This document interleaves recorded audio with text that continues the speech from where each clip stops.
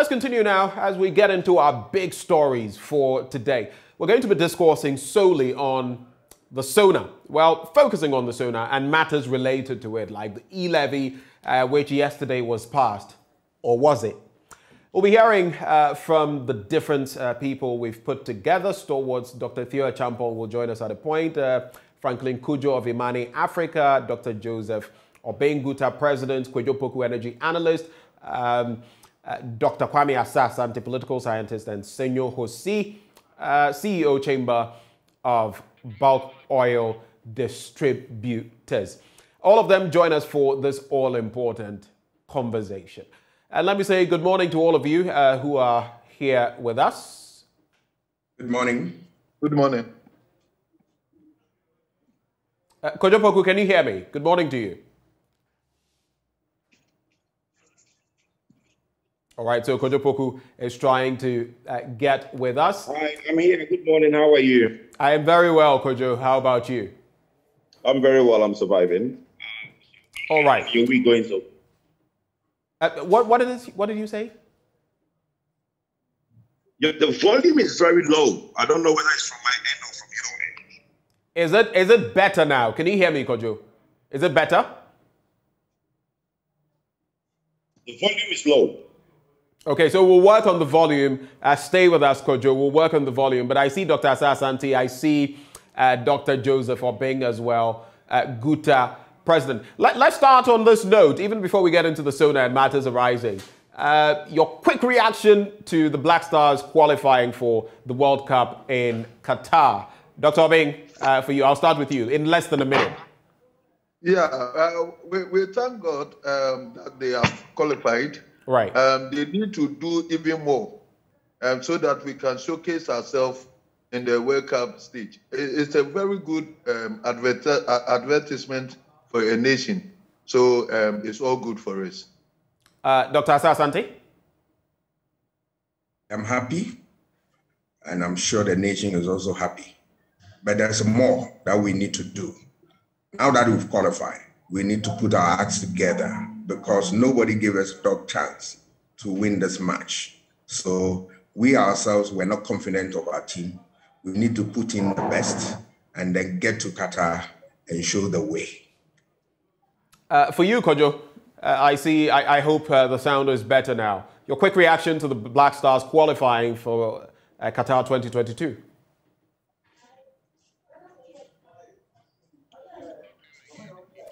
Kwadwo Poku, can you hear me? Yes, the volume is much better now. Thank you. Great. So, so I'm saying your quick reaction to the Black Stars qualifying for the Mundial in Qatar. Well, um, we thank God. Um, we are going to be there. We are going to be uh, supporting the boys to make sure that they do well. For me, you know, every World Cup, every World Cup that we've gone to has come with its problems. Um, the concentration should be on the football. We should leave out the other item 13s that comes after every time we go to the World Cup. I'm hoping that we'll put a lot more emphasis on training and good preparation for the boys. In um, and GFA should really stop that thing where they, they now bring on unnecessary expenditures that now bring this whole thing into disarray. But it's a good ball. We, we didn't play as well that we thought we would have. It was okay. For the last 30 minutes of the match, the boys, I don't know whether they were defending or tired, but I hope, I mean, we can do better when we get to Qatar. All right. A quick one from Dr. Theo Acheampong as well, right before we get into the nitty gritty. The Black Stars have qualified. How happy are you? What are you looking forward to? Uh, uh, good morning. It's a fantastic feeling, and I think it's great to see them uh, qualify. Uh, we do have some months now to put the team um, in shape, so to do more uh, training. Um, but uh, the point also being that the boys who qualified, uh, we should try and get them to um, get to Qatar. I mean, there shouldn't be any attempt to go and bring in other people who necessarily didn't partake in the qualification. There shouldn't be any monkey they work by when they chop business um, uh, in that in that regard. But overall, fantastic, fantastic performance. All right. Let's get into the SONA, the State of the Nation address. We thought it would have been delivered a long time ago. It's taken quite a while. It's been postponed twice, if memory serves. But better late than never to comply with Article 67 of the 1992 Constitution. Dr. Theo Acheampong, uh, I want your quick reaction to the, the measures as proposed by the finance minister to shore up our economy, even before we get into what happened yesterday, the passage of the e-levy bill, and whether in fact uh, it has been passed is another story. But the economic reforms as proposed by Finance Minister Ken Ofori-Atta, your quick take, even as we prepare for the SONA today.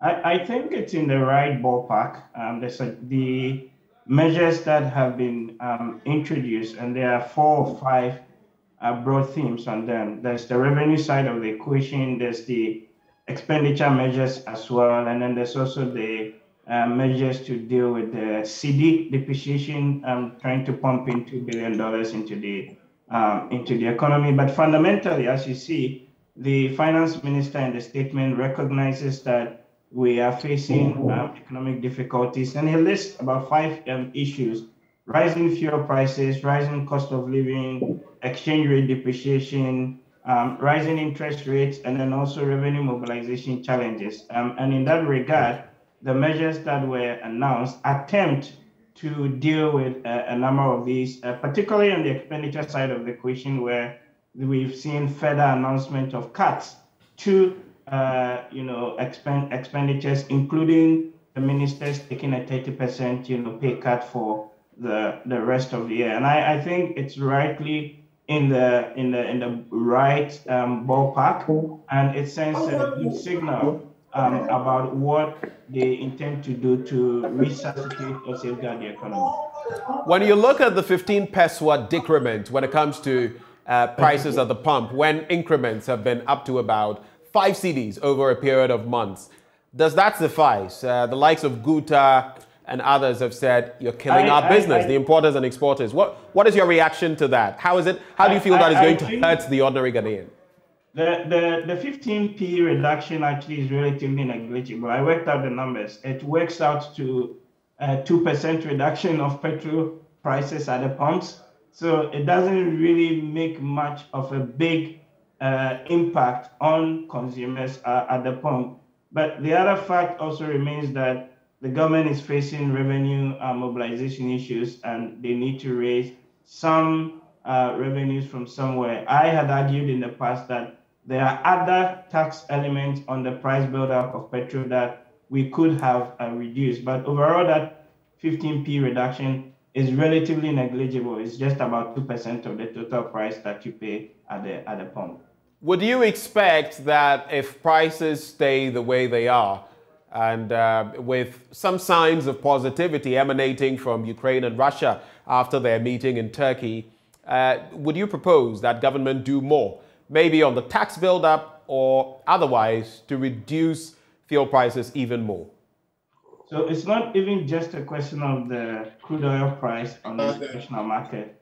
The two other things that we need to consider is also the exchange rate or the cedi dollar um, uh, uh, um, uh, amount, and we, that has had significant depreciation in the uh, past couple of weeks. So those two factors still all need to be at play in order for the government to be able to substantially reduce prices at the pump. So if the cedi stays stable and we do see oil prices going down as a result of, you know, the reduction of the tensions from Russia, Ukraine, and, and things like that, then all things being equal, you should expect some further reduction at the at the pump. But at this stage, I don't think we're going to see uh, a much bigger reduction than we anticipate, just because the cedi is still fairly not stable within the um, uh, forex market.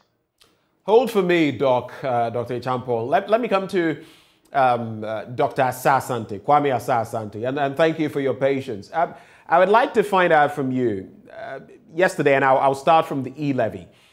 You have followed the proceedings in the Supreme Court and the ruling that was uh, delivered, uh, you know, in, in respect of some of Parliament's standing orders. Now it has come to the fore because the minority caucus in Parliament walked out yesterday. And then the majority end went ahead to vote the, the, the key question, though, has to do with the numbers. whether there was a quorum, you know, number in there, the 138, because they did not have that, but the majority side uh, says the e-levy has been passed. If we're to go by the Supreme Court's ruling and what we know from the standing orders of Parliament, has the e-levy bill been passed from where you sit? Very difficult question because uh, yesterday uh, we're listening to uh, the goings on in Parliament, and uh, there were this, uh, as well, um, some aberration in their uh, processes because one would have thought that they would, you know, respect the rule and uh, uh, kept it intact. But we saw a different thing. The good news is that the NDC want to test it in the court and see whether something will come out. Let's wait and see what comes out of the process, and then we'll take it from there.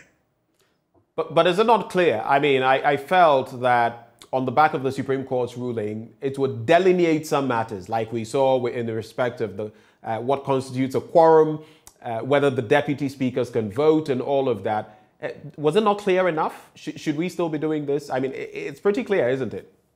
That's why I'm saying um, I was disappointed because you know the rules are clear, and the Supreme Court ruling was extremely clear on these matters. So, so why is it that Parliament took the position that they did? So the best way are to also go to court and see whether uh, they can make amends, and then we'll move forward from there. What would it mean if the Supreme Court directs that that was illegitimate what happened yesterday? It means they have to go back and all of that. What would, what, what, what would it mean for governance generally, but for parliamentary business specifically? And I pose that question because people have spoken about being candid, doing the right thing, being honorable, and all of that. Do you feel this is going to make uh, the, the engagement in Parliament between the majority and the minority even worse? Already, the atmosphere in Parliament is polarized, um, partly due to the, the nature of Parliament we have here, and then um, events that follow, especially with the introduction of e-levy bill, which uh, they did not consult. I'm talking about majority did not consult so much that it created all manner of what uh, problems for Parliament. If that is going to be the ruling of the Supreme Court, then I'm afraid we have no choice than to respect the ruling and build the institution as strong as possible to stand the test of time. Uh, democracy, if you want to strengthen its frontiers, you must adhere to the rules of the game. So I don't see why you be in a hurry or you want to bend the rules to suit a certain particular interest. You said about president and you worsen the political system. Is that what you feel happened yesterday?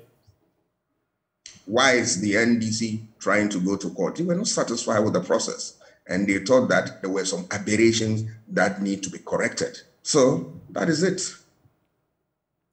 If it turns out that the Supreme Court says this was legitimate, so yes, the e levy has indeed been passed, what would be your expectations? Mind you, some Ghanaians have said it's not about paying, it's about what we'll get from all of this. If uh, the Supreme Court's ruling uh, determines that, well, it's good to go, what would be your expectations as a citizen and reflecting what you've heard from ordinary Ghanaians? If that is going to be the position of the Supreme Court, then uh, one, government must sit and sit properly. Because you see, I'm not an economist, but people with knowledge in this area have said that, yes, if you want to go on that tangent, the best thing should have been 0.5% in terms of the percentage of tax up to 1%. Once you move beyond that, then the, you are going to create difficulty in terms of what means of livelihood and how we survive it right? That is obviously going to come. But government should not be oblivious of this because it had its own effect on how uh, people perceive the government and how they vote 2024. We put in government so that they will do the needful to make life better.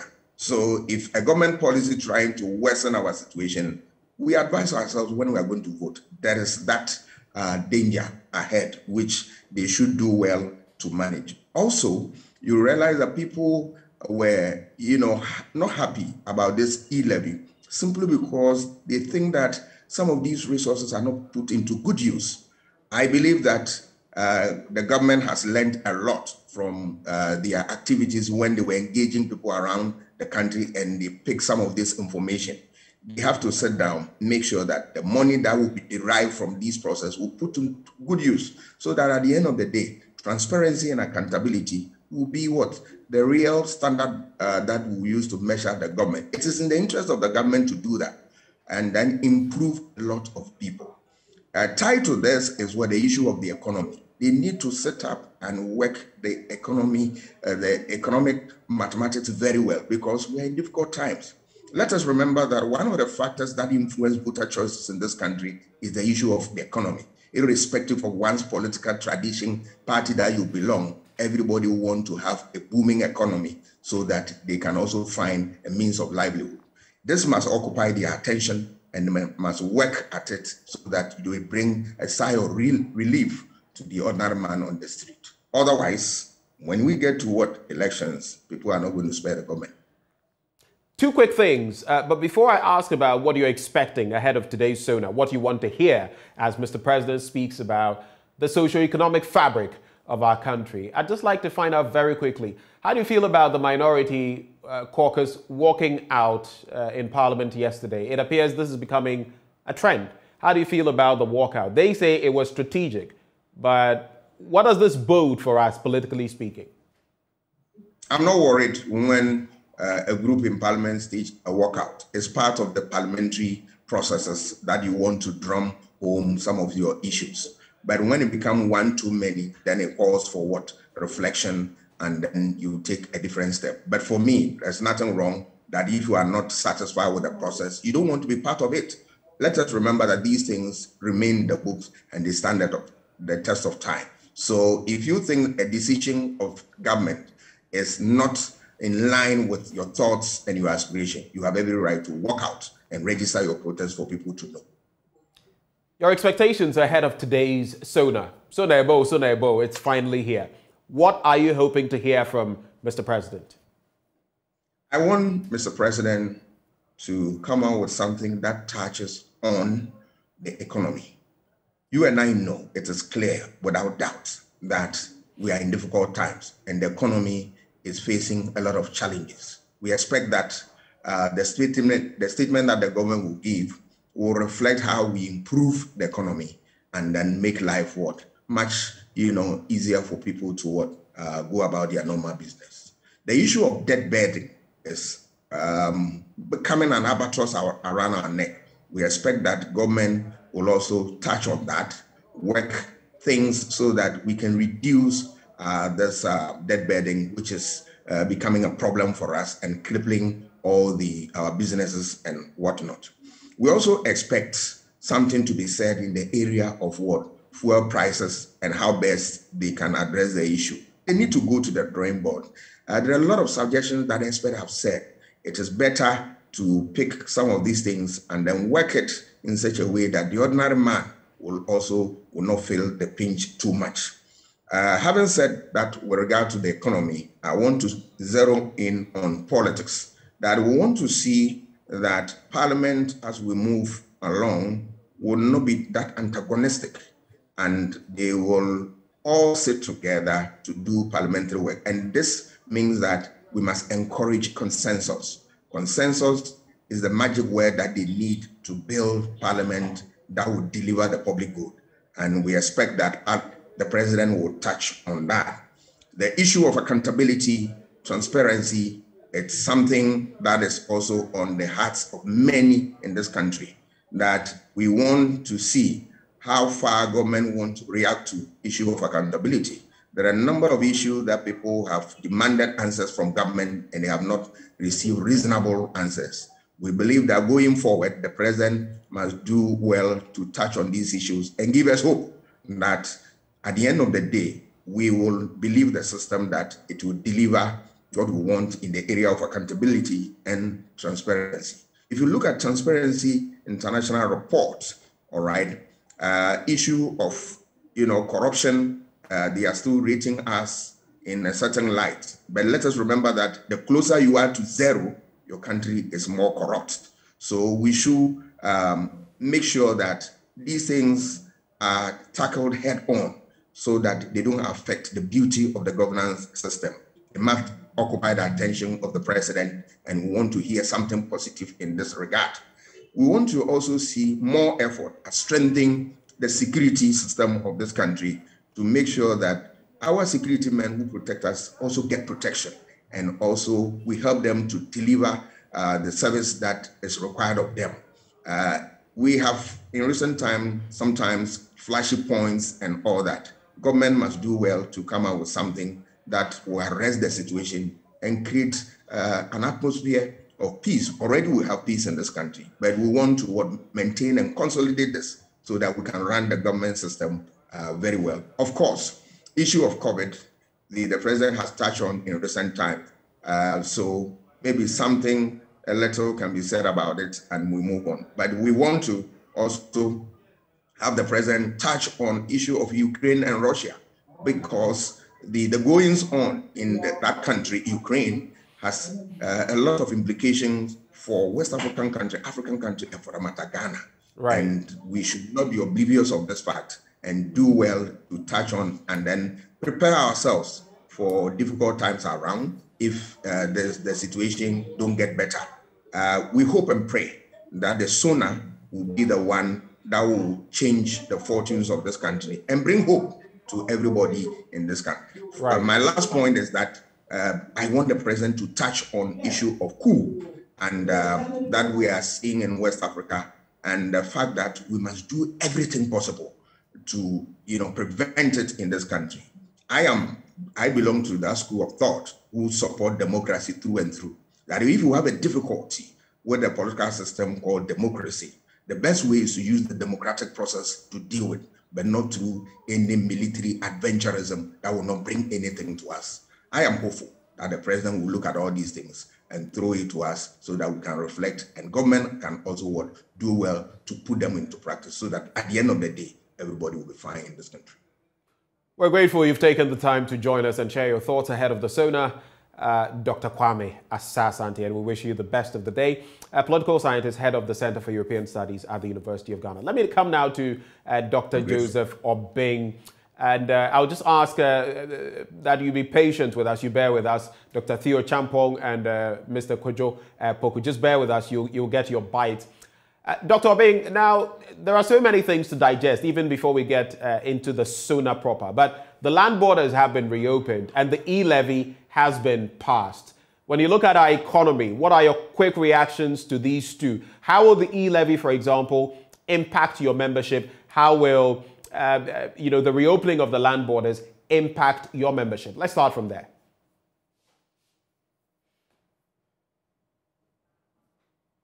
Uh, you may you may have to unmute, uh, Dr. Obeng. Oh, sorry. Good. Am I on? Yes, I can yeah. hear you now. Thank you so much. Um, I think we have to get it straight that the people who are paying taxes are just so few in this country mm. that we have potential taxpayers of about 13 million, and that less than 5 million of us are paying the taxes that is required in this nation. And that anything that ensures tax expansion, we are for it. Otherwise, most of um, the taxes that we are being paid actively revolves around just about 1.2 million people, which does not augur well for the nation. Uh, where we pay these taxes for the rest of us to depend on it. So anything that ensures tax uh, expansion, uh, we are for it. Otherwise, um, the, the trading community is always surcharged with these things, pay um, uh, duties being increased with time and all that.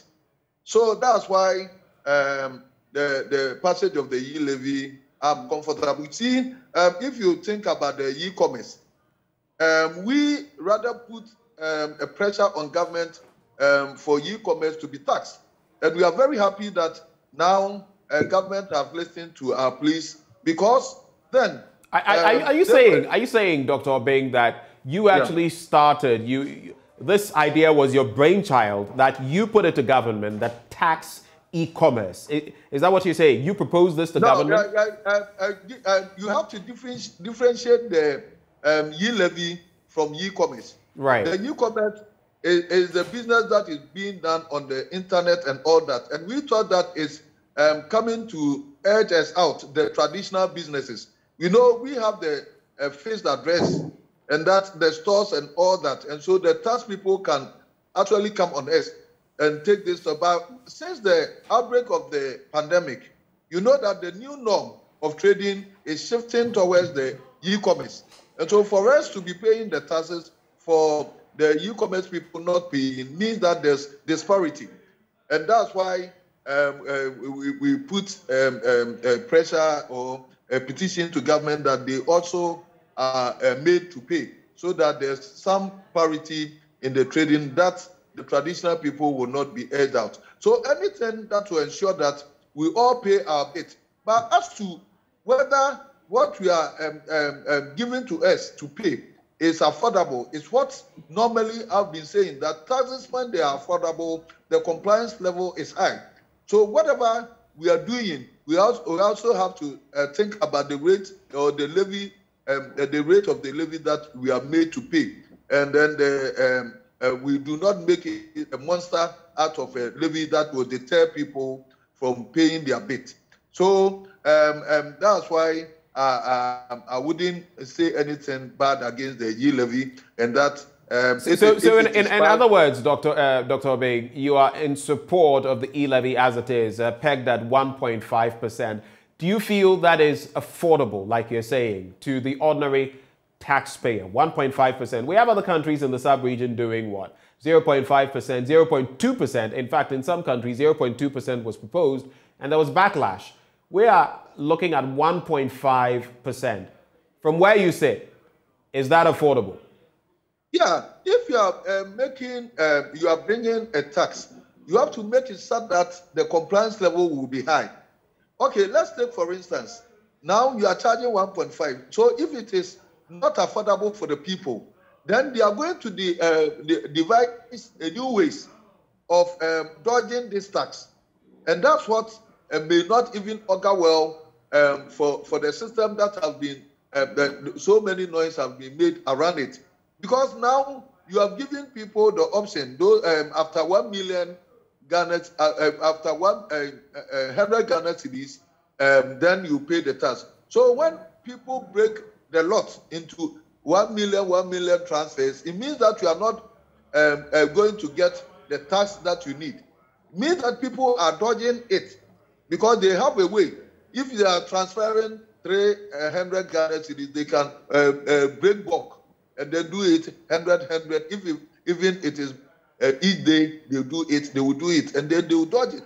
Uh, if the tax is um, affordable and then um, um, negligible, people will pay without even. So, so the question, the question, Dr. Obeng, uh, pointedly is: Is it affordable for you? Because, like I'm telling you, in other countries, right here in West Africa, it's been tried even at lower rates. People protested. Uh, transactions fell by about 50 percent.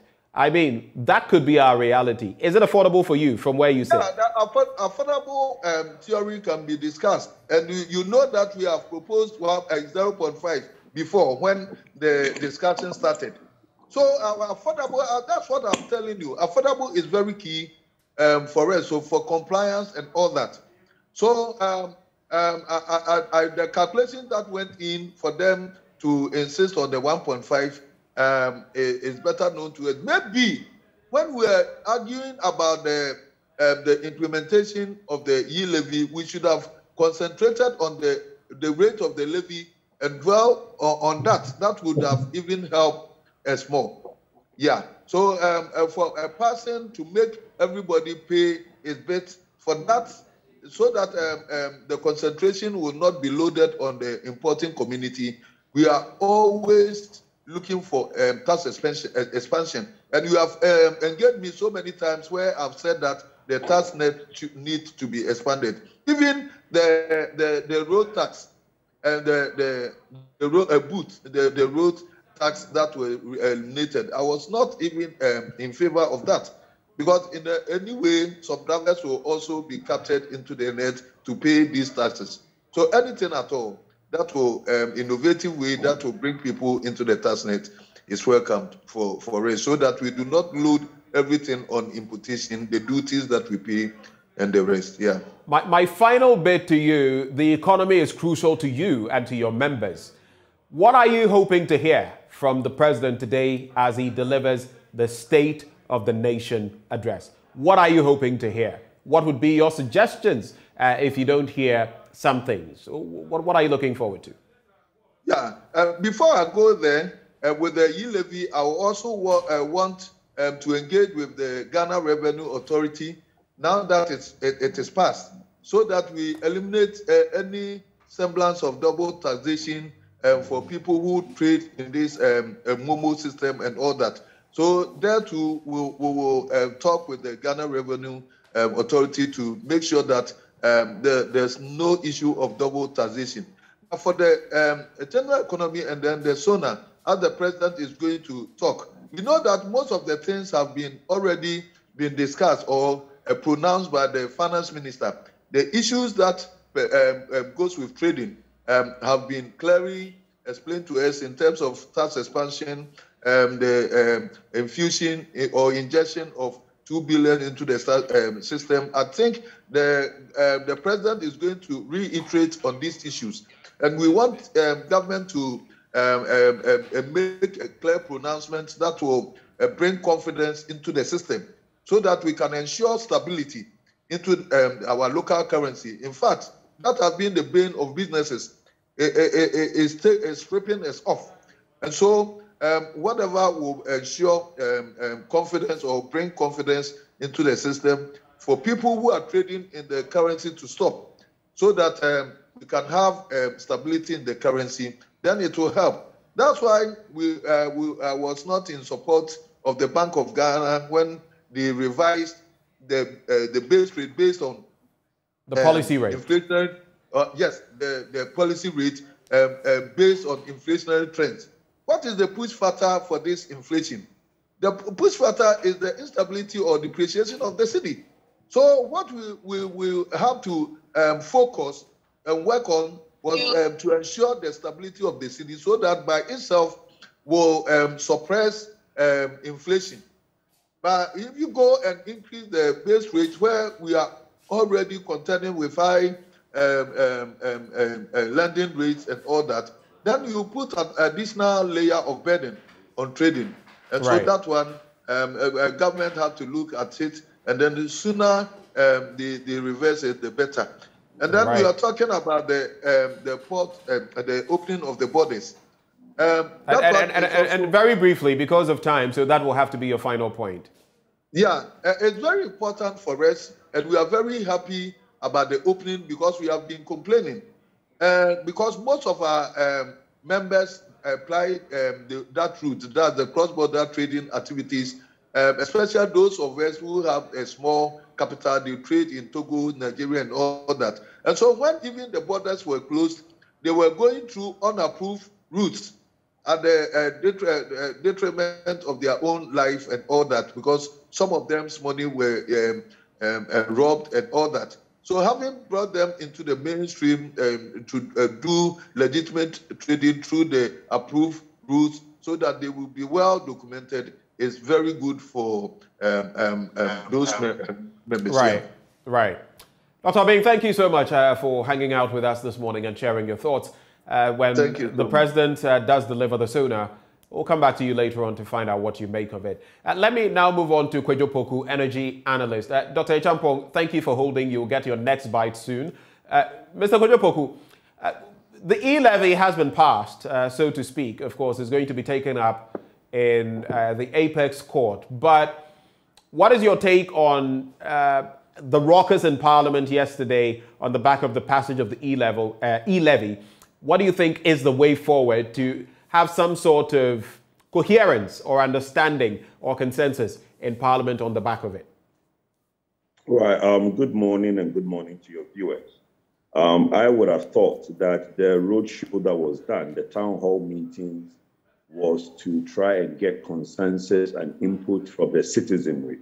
And uh, there will be some input of the um, the town hall meetings into the new bill that was going to be laid. Um, I didn't know that uh, they were pushing ahead with the old bill that was already laid and going into second reading. So if you look at it, you realize that not a lot has been input or no fresh um, suggestions or anything. The only thing that is different from what was laid in Parliament and amended is um, the 1.5 from 1.75 to 1.5 and insertion of some clauses to say that no third party will be brought on board to monitor um, or collect the e-levy except GRA. Now, for me, a bill like the e-levy should be consensual. We should have both parts of the floor because, look, how many years down the line do we think that we are going to go before the minority also comes into power and probably now say that, look, we are going to campaign on the fact that when we come, we are going to abolish e-levy? We don't want a situation where something as crucial as revenue generation is going to be um, a do or don't matter at election. I have constantly said that I, Kojo is against part of the e-levy. The e-levy bill as proposed now, I have challenges with part of it. And I think that there should be more work done to make sure that everybody is comfortable with the bill so that we can all contribute towards it. You have the bill in each state, which was passed, where it double tax workers who have already paid their taxes and put their money on the electronic wallet to, to on the digital wallet to basically send it to people, friends and family or stuff like that. I have always said that there should be another technology or an IT architecture put in place to differentiate between merchants where you have to apply the VAT and NHIL and people who are just doing personal transactions. You cannot constantly be taxing people's savings, which in some cases you will be going into confiscation of um, savings. So it's unfortunate that um, it's been passed um, in each state that it's in. I think that we need a bill. Did, did, did you just say? Help. Did you just say, Kojo Poku, that it's unfortunate that it's been passed in the state in which it is? Yes, it's unfortunate it's been passed in the state because it's divisive. The state that it's in is divisive. I think that it should be passed in a state that both parties or both houses are happy with. Look, the opposition, the minority are opposed to part of it. I'm sure in the past three months, they have um, made some utterances of maybe 1% rate, where they think that 1% rate, they would be happy to sit around the table. Um, have been suggestions from some part of the minority on some part that they think that it double tax people who are sending money to friends and family. I, I also share that view. So, like, I said, it's unfortunate that it's been passed in the state that it's in. Um, government needs the revenue. Let's not um, joke with that. Uh, we have all seen the state this economy is in. But the e-levy being passed at its state does not solve all our problems. If anything, is the beginning of most of our problems. Because now um, you have multi people who are going to stop using the service uh, because they don't think that they are prepared to pay 1.5% of that money they are sending. So your projections will not now pan out. Because your projections don't pan out, the e-levy doesn't get to do what you claim is going to do, then Ghanaians are going to look at you and say, look, my brother, you said you're going to pass e-levy and my road was going to be done. You're going to pass e-levy, I'm going to be rich all of a sudden. You're going to pass e-levy and all contractors will be paid, which we all know is not true. So we've had problems which have been going on for five years. We've not put plans in place to solve them. And all of a sudden, we basically made it look like e-levy is the, um, the magic one that solves all the problems. It's not. Uh, you, you just said that the passage of the e-levy uh, into law, of course, uh, the president has to give his assent to it before it becomes law, is going to be the start of our problems. How problematic do you feel this is going to be for the telcos, especially in other countries, other jurisdictions? We've seen how this has been forced down the throat of people, so to speak, and they have lost a lot of those, you know, transacting electronically by about 50% and more in some countries. And these are countries right here in Africa. How do you foresee if it, if it is maintained in this current form, it could affect telcos? Well, I, I don't share no tears for telcos. I think that in Ghana, regulatory is very poor. Um, and that's one of the conversations that me and you can have on one of our morning sessions. I think our telecom system has deteriorated. The telcos have stopped being telcos and become bankers. They're all interested in collecting mobile money uh, commissions, but not concentrating upgrading the system that they are licensed to operate. So I don't share tears for telcos. I think that MP, uh, NCA is doing a very bad job in monitoring and making sure that our standard of communication in this country is high. Um, today, we don't even know what data, how they charge per megabyte or how they charge the data. You, you, don't even know how they charge your phone call. Okay, we don't know how much we pay per second. All these things, they are just ripping us off. And for me, I don't share no tears for telcos. What government needs to do is to invest in an IT infrastructure. Look, like the GUTA president, the, the GUTA gentleman said, we need to tax e-commerce. Now, if you need to tax e-commerce, it doesn't mean that you go and tax e-levy. Okay? E-commerce and e-levy are two different things. There is a lot of transaction that goes on which government is not in the right position to tax because we don't have the technology to do that. We, we've heard about GRA trying to now make sure that Amazon and Google and all these people that people buy stuff of pay their fair share withholding tax and all that. How are you going to do that? You don't have uh, the slightest technology in that sense. Okay, so what I have proposed, and I keep saying it, and as usual, nobody listens, is for us to develop an interface. Look, all it takes, government officials like to travel. They should go to India. India has a simple solution called UPI, Universal Payment Interface. There's a, uh, an artificial intelligence platform that all platforms, all other platforms sit on. So your mobile, the, your mobile money, which is electronic wallet, will sit on that platform all your e-commerce, e-switch, all those things will sit on that platform. Now, that will help you determine whether um, somebody is making a transaction to a merchant, somebody is making a transaction to an individual user, somebody is making a transaction to a service provider. That platform will help you distinguish between these people who are making these different type of transactions. Then you'll be able to now tax them accordingly. You cannot just come up and say that you are going to tax service providers when you don't have infrastructure to do that. You're going to rely on the telcos to tell you what is um, a service provider because his, his mobile money is registered as such. So for me, I think the government should invest in that infrastructure, then be able to differentiate between different users and tax accordingly. All right. Finally, in about a minute, maximum a minute and a half, your expectations ahead of today's SONA. Well, look, um, SONA, as the name sounds, is state of the nation. Normally, when the president stands and speaks, um, he's always um, told us about achievements and things they've done. Whether it translates into a certain state in our country, he doesn't tell us that. Frankness and openness, I've always said that the president should have. The president believes that he was elected to fix the problems, not complain. But sometimes you should complain because if things that you are doing is not having the desired effect on Ghanaians, then you should tell us about it. What I expect from the president is to tell us if he is in touch with the people. We will know today. If the president come and tell us about roses and petals, rose petals and um, ice cream, then we know that he's not in touch with reality. So what we expect to hear from the president today is to hear from him if he really knows the state of the nation how people are going from day to day, how people are suffering, what he intends to do to address those suffering. That is the state of the nation. If he doesn't mention that and he goes and reiterates some of the things he's done and the achievements and all those things, then that's not the state of the nation, unfortunately. Thank you so much, uh, Kojo Poku, for joining the conversation, and uh, we wish you the very best. Later, we shall reconnect after the State of the Nation address. I have seen Senyo Hosi uh, in the background. Uh, just to say a very good morning to you, Senor. Morning.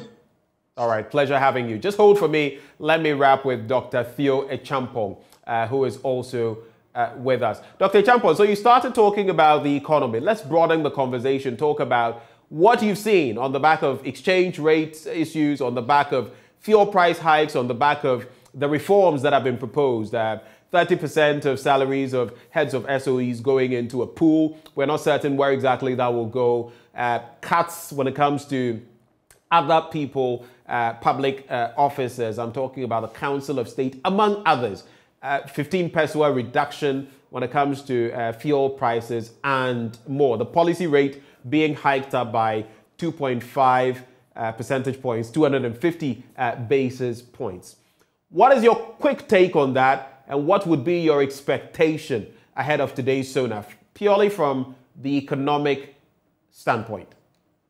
Um, so yeah, like like I did indicate um, earlier, the point really is, and, and everybody alludes to this, that we are we are in difficult times, uh, economic difficulties. Even the finance minister um, says that to be the case in the statement that he read last um, Thursday.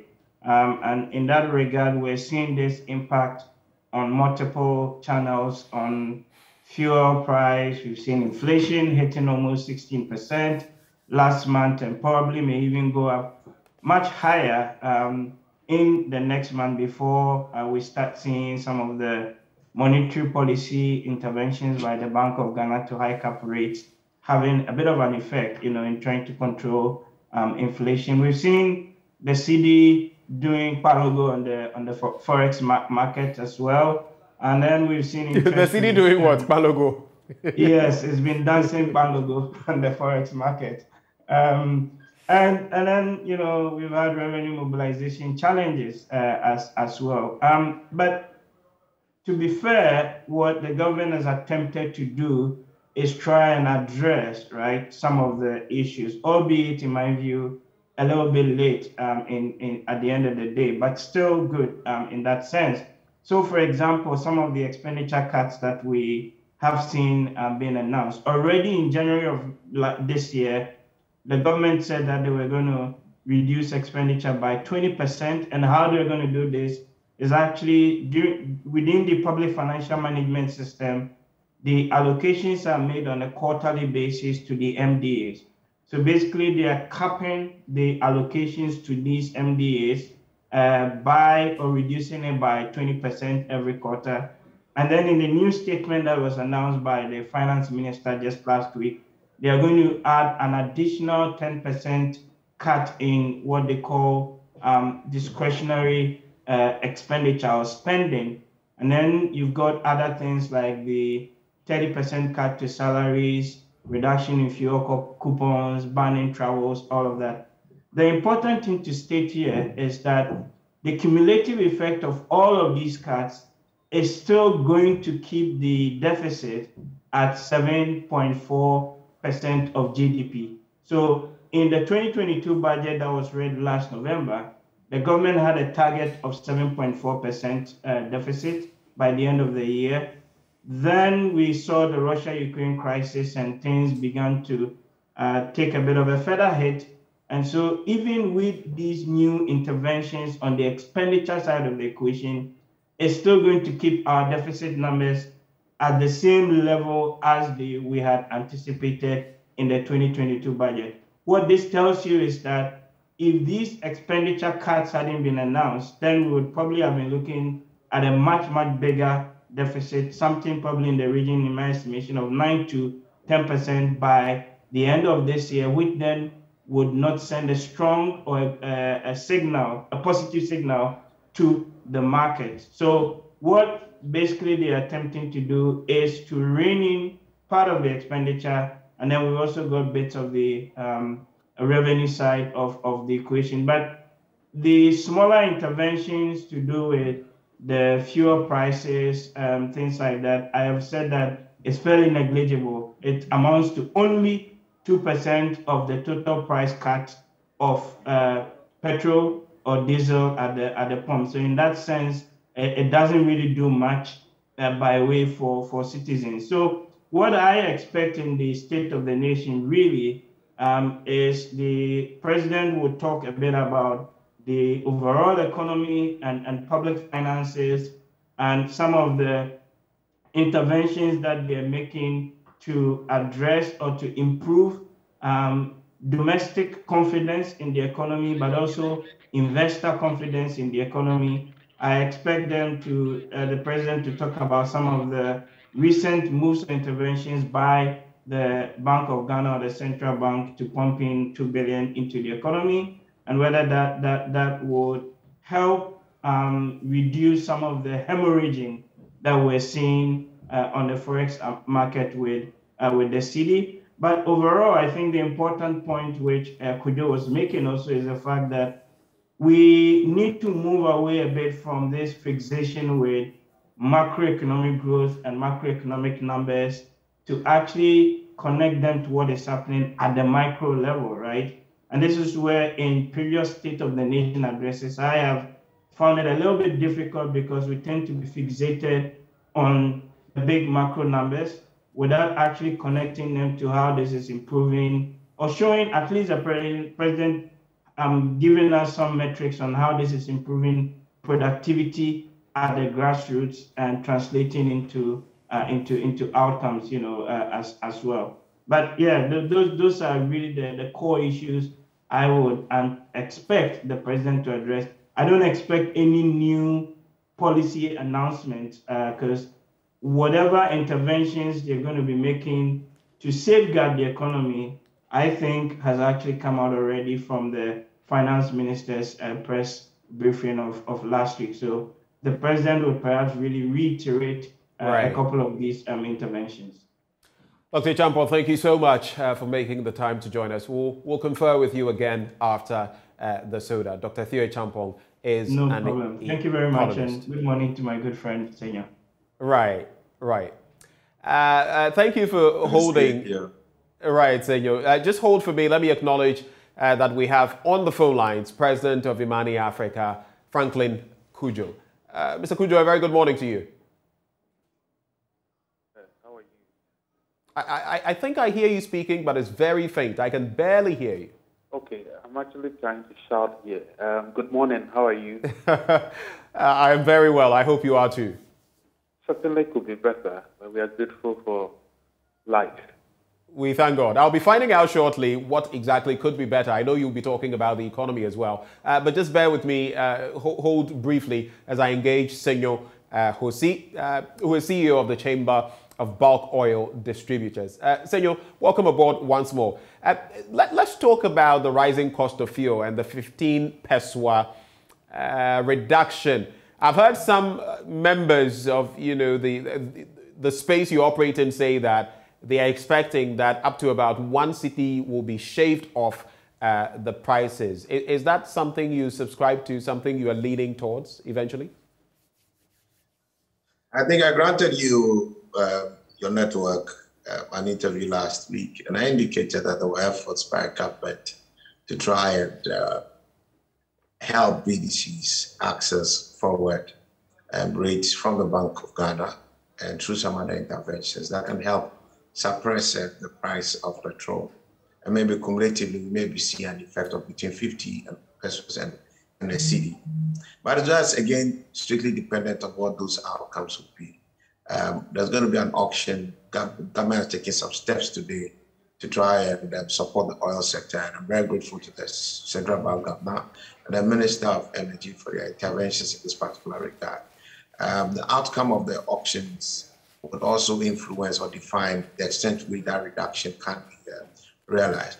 On the world market side, uh, the net effect of the prices have, have been almost zero. Prices have not materially um, reduced um, on an average basis for the previous window and uh, the window we find ourselves in today. So uh, we need to be a bit more flexible um, about that. Uh, let's see how the day ends, and, and, hopefully we should be able to find something a lot more concrete to discuss come tomorrow morning or tomorrow evening towards the 1st of uh, April. Right. Uh, we know that the Russo-Ukrainian crisis is still on, but there have been some positive lights. They've met.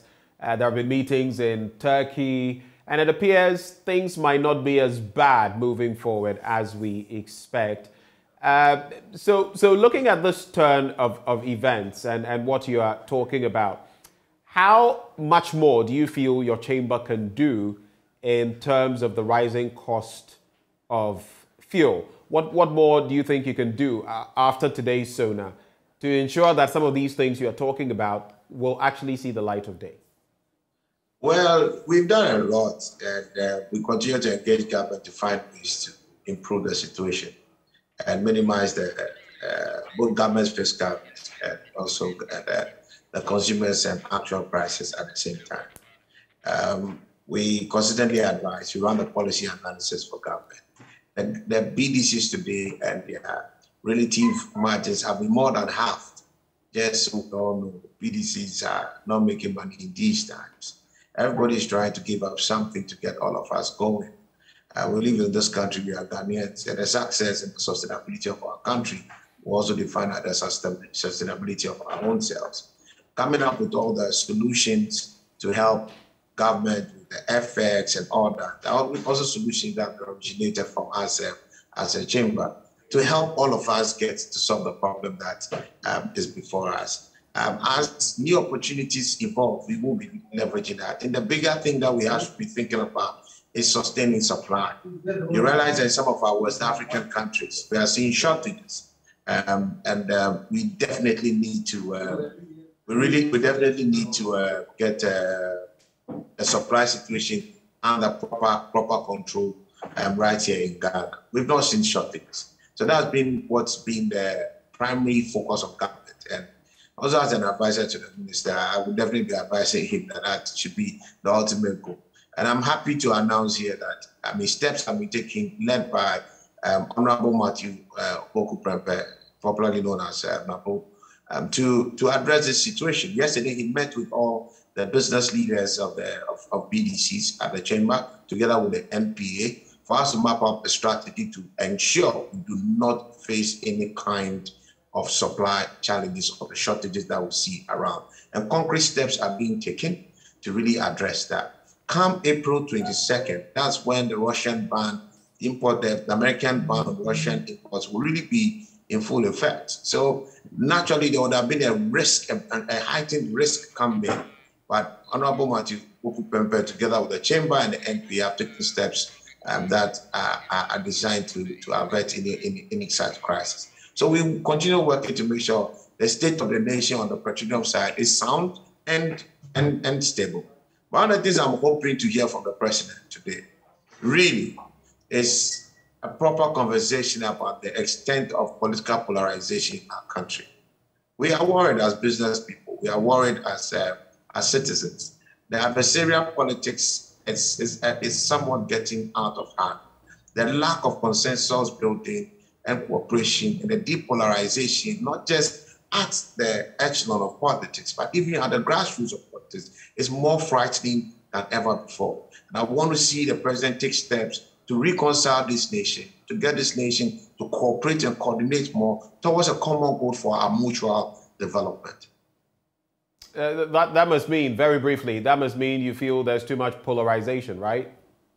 It's excessive and it's threatening. And I think that we should quickly take steps to address that. And to be good to have the president in his tone and his speak leading that charge, okay. calling for unity, calling for cooperation. Right. And um, I, I hope to hear that from the president today. Senyo, thank you so much for joining the conversation. Uh, like I've done with the others, hopefully we'll interact again after the SONA and you can share your thoughts. Have a good day.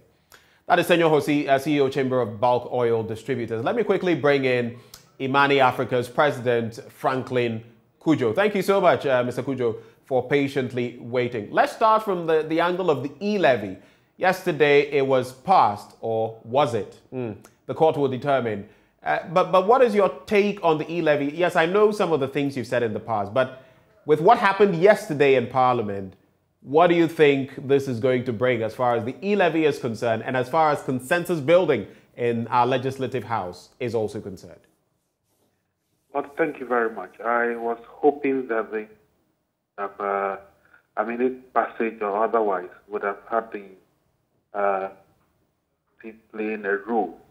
Uh, unfortunately, it looks as if they were they were ambushed, as they say, and then uh, unfortunately the turnout was that the majority side passed it. Um, this goes to increase, or if you like, uh, make it more difficult to have political conversations about just anything that matters in this country.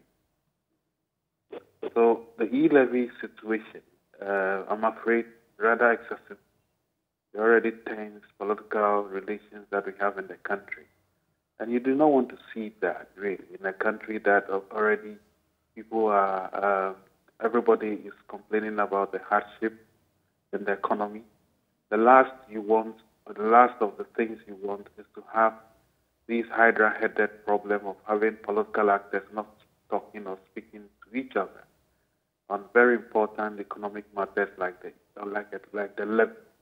So I was quite disappointed at, at, at what happened yesterday, um, and I'm thinking that beyond the adversarial approach of going to court and counter court uh, actions, um, the president may have to call for a truce. And I think calling for a truce also means that there must be some renegotiation about the rate of the e levy. I right. still hold the view can you hear me? Yeah, yes, I'm, I'm listening. I still hold the view that um, it, it, a, tax, the e-levy is a tax that indeed uh, sounds and looks democratic, uh, but the timing of it and the rate, in, again, uh, must be looked at in order to ensure that uh, the already burdened Ghanaian is not is not further exposed. So that's my view on the e-levy.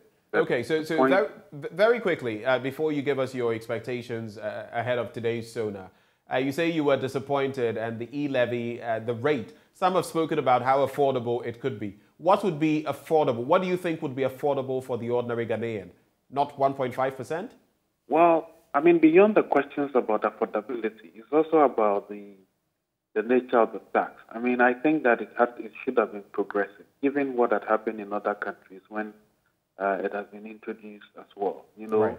uh, even for as low as 0.5 percent, mm-hmm. I think in was it Uganda? Uganda was one percent, brought to one 0.5 percent.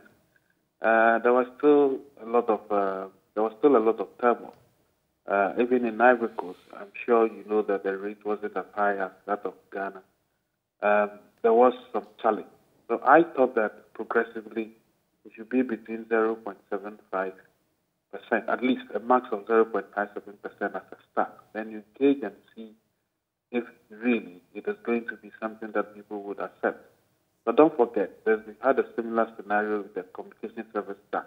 Right. When it was hiked to about 9%, um, there was a dip in the total revenues that were collected. But when it was reduced again to, I think, 6%, we saw some incremental uh, changes in terms of the, turn, uh, the turnover. So I definitely wanted a rate that was lower than 1%. Right.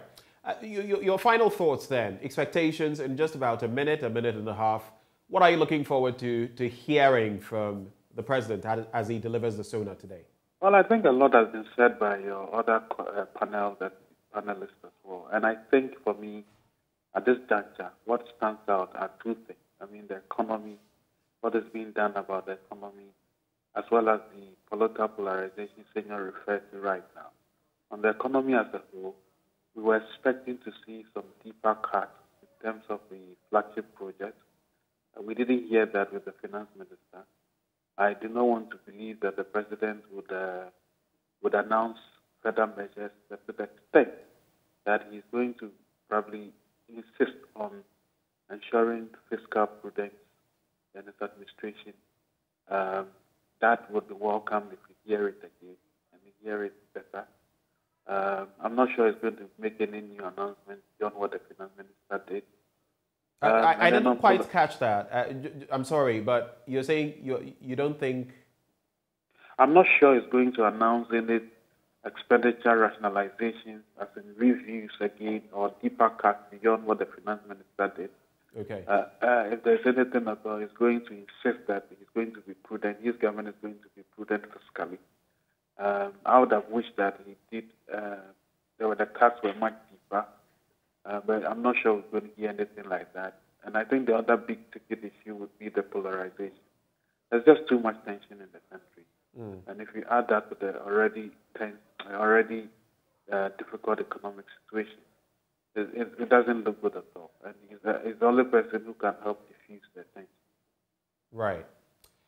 Mr. Cudjoe, I know how busy your mornings are. Thank you so much that you made the time all the same to interact with us. We're grateful. It's a pleasure. All right. Thank you uh, very much.